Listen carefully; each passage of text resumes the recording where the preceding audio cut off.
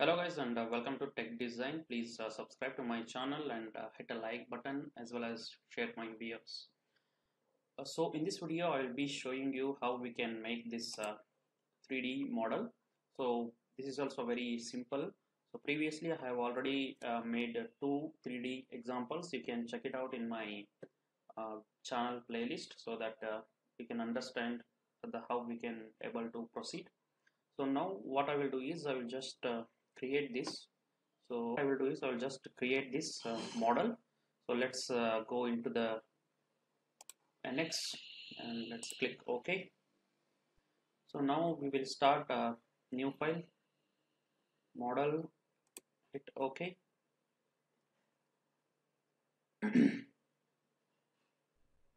So this is uh, now uh, in uh, after doing all 3d commands i will be just explaining around the 20 uh, examples so that it will be easy for you to practice um, so uh, meanwhile I will be uploading some other I will just take up some other module uh, like assembly module otherwise surface modeling. So uh, let's decide later.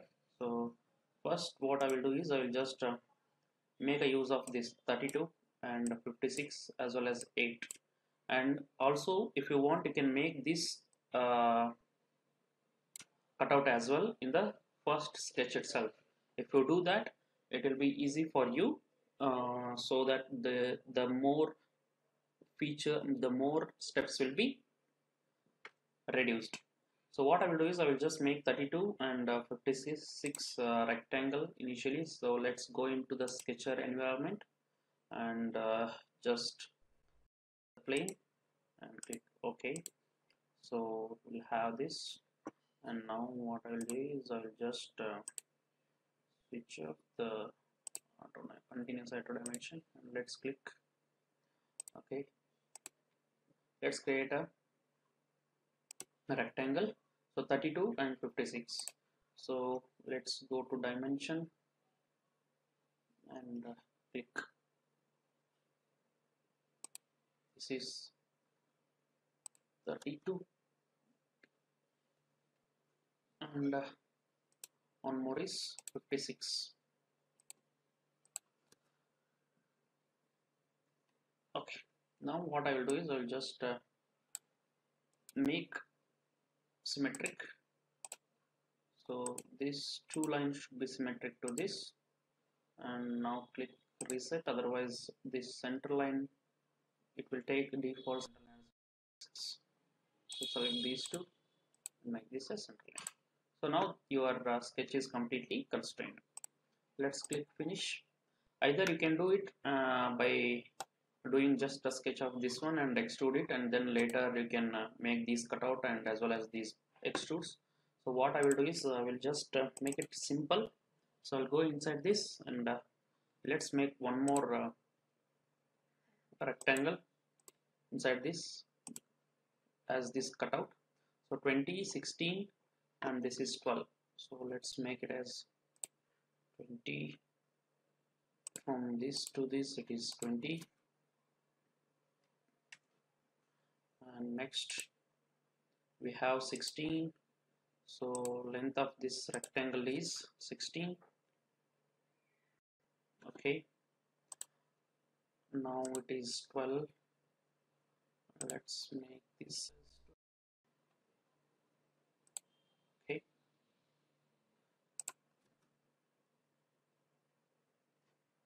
and then from one edge it is 10 so let's make this edge to this edge it is 10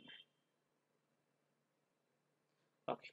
Now you can see this the sketch is fully constrained and we have got almost uh, sketch is almost almost completed. Let's finish the sketch. And now what I will do is you can see here it is 8 mm 8 mm uh, extrude is there.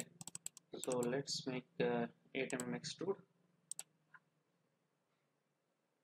So the single curve is there. I will just make it to feature curve so that it entirely selects the sketch. Uh, once I give that 8 mm is our extrude length. So let's give 8 and keep it as none. Click ok so the base is ready now. As you can now what we will do is uh, we will uh, uh, two extrudes. So you can see here 16 mm and 8 mm is the rectangle and 20 mm is the extrude length. So what I will do is I will just create uh, one more sketch on this plane. So let's select the plane and uh, now what I will do is I will just create one more rectangle here as well as rectangle here so those two rectangles with a dimension of 16 and 8 so let's give 16 and 8 so this is 8 and this is 16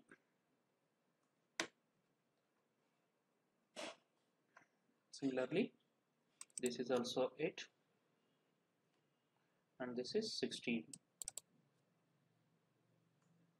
oh so once this is done you can directly uh, make a rectangle from this edge or else uh, I'll just created this in order to show you how we can constrain it.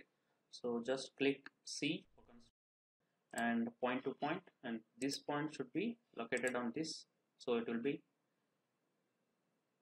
in this proper position and this point will be on this point. So you can see here these two rectangles are ready. Just click finish and uh, let's extrude this up to 20 mm. So I think uh, it is from 20 mm from this base.